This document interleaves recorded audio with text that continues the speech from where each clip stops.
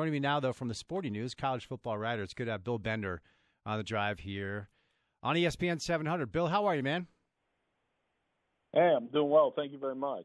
Thanks for uh, taking the time. Um, in preparation for the interview, interview I was checking out um, your recent work, and I saw what you uh, what you put up about Clay Helton and USC. And obviously, we're going to talk some Utah football and where you think they rank. But one of the uh, teams that, of course, is thought to um, thought to really challenge Utah for that Pac-12 South title is USC. So, what did you uncover when you uh, wrote about Clay Helton's squad? Well, I mean, when you put a Pac-12 or bust mentality on it, it makes it tough. I mean, because it's not not an easy job as it is, you know, and where they're at as a program coming off a five and seven season.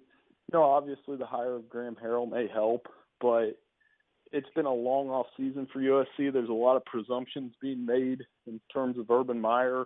Um, I'm not quite there yet, but it's a huge year for the Trojans, and uh, the fact that they could finish anywhere from first to sixth in that division probably makes it that much more important.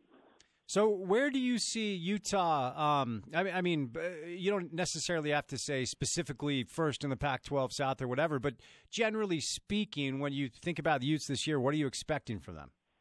First in the Pac-12 South. There you go. I mean, All right, touche. That's, that's, that's what I want to hear. I mean, but yeah, I mean, they should. They got a tough defensive line, good quarterback. They get Andy Ludwig back. I think, you know, from the people I've talked to out there, and yourself included, they seem to think that's going to bring an added dimension of continuity to the offense around Zach Moss. Um, you know, I guess the thing with the Pac-12 is what I say every year. I think Washington, Oregon, and Utah are all very good teams, uh, but in order to get to the playoffs, you can't really stub your toe. Like Washington a couple years ago stubs their toe at Arizona State. You got to win all of those games, and it's hard to do in the Pac-12 because I don't think you don't have an Alabama or Clemson where one team's better than everybody else by a lot but I think the bottom's closer to the middle and the top.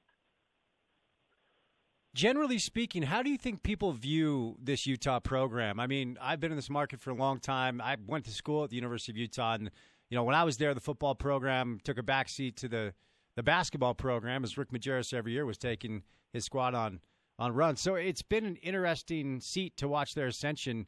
What's the reputation of the University of Utah across the country? Yeah, I bet you have a Van Horn jersey somewhere. Absolutely, Andre um, Miller was my guy. That was my guy. Yeah, I mean, that's a good choice too. Yep. Um, you know, being an Ohio guy, there's nothing wrong with that. Um, you know, but but yeah, I think we look at Utah as a steady program, and you know, in the same vein as whether whether it's fair or not, you kind of treat it like a Northwestern or a and not quite Florida because Florida's won a couple natties, but I mean just a solid program that's going to get you eight or nine wins. I think they've done a nice job of moving up the ranks. For those, it's something I always tell people: if you want to, for those that like UCF or Boise or whoever, I mean Utah and TCU kind of provided the blueprint of how to get into the Power Five, you know, and and how to kind of take your lumps in those conferences, which both of them did and now Utah is competing for Pac-12 championships, which had to be the Kyle Whittingham's goal. So I think a solid program, probably not. Re- I mean, I think you've gotten enough hype this this off season as a playoff sleeper, but I think part of that is we're in a landscape where it's hard to come up with playoff sleepers and sound original. Same question, Bill. And by the way, Bill Bender is our guest. Hit him up on Twitter. It's at Bill Bender ninety two, National College Football writer from the Sporting News. Um, Bill, same question about um, about BYU, um, and then I want to ask about the rivalry. But generally speaking, across the country, I mean BYU they haven't had the best stretch. They're, not, they're, maybe not the program they were in the '80s, but still certainly a fine institution nationwide. What's their reputation? And I, I think they're they're still searching to try to get it breakthrough to that Power Five, and they've done everything they they can do. I mean, playing in how many Power Five game teams you need to schedule. Their September is always traditionally as brutal as anybody right now, especially with the teams they're scheduling on top of Utah. Um, you know, obviously the tradition goes back to the '80s. They are, other than Notre, I mean, other than Notre Dame, yeah, there no group of five team has ever won a national championship. BYU and, and Notre Dame are the last two to do it outside of the Power Five. So it's just getting that identity back. I think they're going to be pretty good this year. I, I like the quarterback, but when you play that many tough teams out of the go, it's like they're it's you almost want that in reverse. You want your biggest games to be in late October, November, not early in the season when you maybe don't know what kind of team you have. You know, you referenced it, Bill, and I, I, mean, I think it's just going to be difficult for BYU to find consistent footing until a packed or a, a Big Five P five situation manifests itself. Um, it's kind of a cliche, age old question at this point, but can you foresee any scenario in the foreseeable future where BYU gets a P five invite? Not unless the, not unless we have some dominoes fall within the Big Twelve or the Pac twelve, where they either go to a super conference model or we just stay at where we're at. But I, I thought when the Big 12 was kind of auditioning expansion candidates that BYU would have made sense. But remember, it's not just you're not just taking the football program. You're taking a school. You're taking religion. You're taking a lot of things on top of it. And, and Notre Dame, same difference. I mean, I've I, I've grown up in the Midwest. I've campaigned for Notre Dame to join a conference since I can remember, and they've done it in everything but football. But that's part of their identity too. So you know, if if it helps, I know BYU difference between BYU and Notre Dame. BYU wants to be in a Power Five conference, and I don't think it'll happen unless we have another big domino effect like event with uh, expansion. Maybe the 18 playoff, whenever that happens, brings that on. Do you think that's on the horizon at all? I mean, we got a, well. I'll put it this way: it'll go to eight when they want it to go to eight. The people that decide that, right. the, the committee wants it to go to eight. That's when it will. It won't be when I like to joke it won't be when Twitter says so or somebody gets left out of the playoff.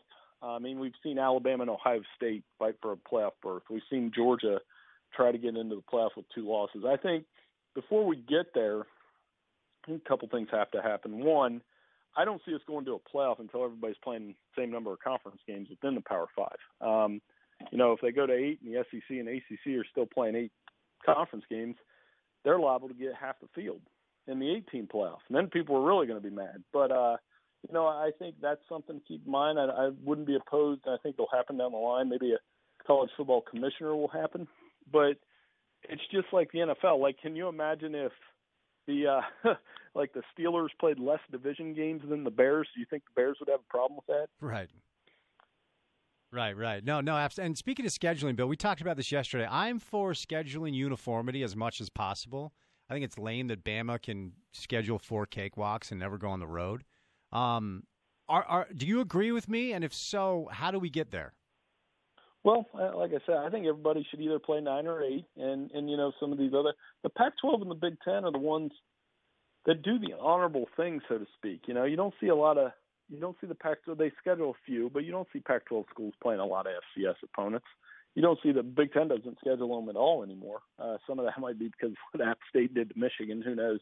But um, you know, I think that's part of it. By they've done the honorable thing by making their schedules more difficult with nine conference games, while at the same time it's made them made it harder to make it to the playoffs, especially not in a you know take the Big 12 is a little bit different because they they all play each other.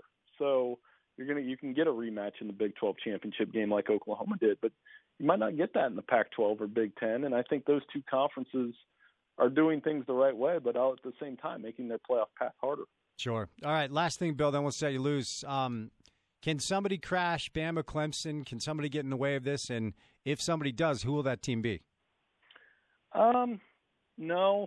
I yeah. mean, yeah, maybe, maybe Georgia, maybe Ohio State, maybe. I, I just outside of those four, I don't know if there's a true national championship contender. Like the days of lightning in a bottle are really hard to come by when Alabama and Clemson have this shadow over the entire sport. And when they have every, they already have everything. And what makes it worse, um, Spence, is they they have the two best quarterbacks too.